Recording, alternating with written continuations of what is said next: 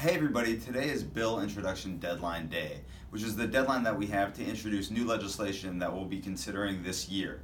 This is the culmination of months of research and talking to experts and stakeholders uh, that me and my staff have done while we've been vetting and researching dozens of ideas that were generated, some by us here in the office, some by constituents back home in the 24th Assembly District, and some from outside groups like the Western Center for Law and Poverty.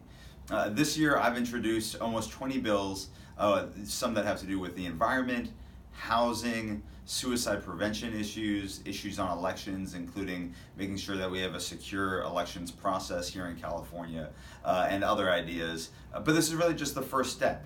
Uh, and these bills will go through the long process of going to committees, uh, being voted on on the, on the assembly floor, going over to the Senate and going through the same process, and then hopefully being signed by the governor. So this is just the first step. I hope you take a look at the bills that we've introduced, and I hope you follow along both on our website, on our Twitter handle, and also on our Facebook page, uh, as we'll be updating you about the status of the bills as we go through the year. So thanks so much for paying attention. Uh, looking forward to keeping you updated.